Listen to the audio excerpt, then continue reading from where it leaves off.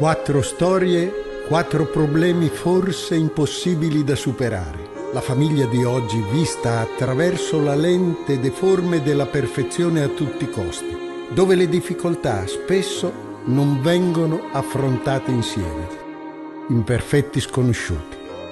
Il cortometraggio realizzato dall'Ufficio Comunicazioni Sociali della Diocesi di Fano, Fossombrone, Cagli, Pergola una serata dedicata alla comunicazione nella famiglia. Lunedì 15 giugno ore 21, proiezione e dibattito. Cinema Politeama di Fano Ingresso libero. Sono 12 gli attori protagonisti di Imperfetti Sconosciuti, il cortometraggio scritto da Enrica Papetti per la regia di Luca Misuriello, dedicato alla famiglia, realizzato dall'Ufficio per le comunicazioni sociali della diocesi di Fano, Fossombrone, Cagli Pergola. In programma per lunedì 15 giugno alle ore 21 al Cinema Politeama di Fano con ingresso libero, il corto racconta in 36 minuti la quotidianità della famiglia di oggi dove da imperfetta può diventare una grande scuola di dialogo. Sì, il cortometraggio Imperfetti Sconosciuti nasce proprio dal messaggio del Papa per, le, per la giornata per le comunicazioni sociali, che è comunicare la famiglia, ambiente privilegiato dell'incontro nella gratuità dell'amore.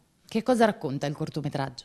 Il cortometraggio racconta la vita quotidiana, quello che succede nelle, purtroppo nelle, nelle, famiglie. Sono quattro storie, riguardano la, mm, la, separazione, la perdita del lavoro, il dialogo, il rapporto genitori-figli e la problematica di avere un anziano in casa e quindi tutto quello che, tutto quello che ne sussegue. Siamo partiti per raccontare queste quattro storie e ovviamente ci siamo fatti ispirare ovviamente dal, dal quotidiano italiano con un finale un po' a sorpresa che è richiamato un po' nel titolo Imperfetti Sconosciuti. Qual è il messaggio che avete voluto lanciare?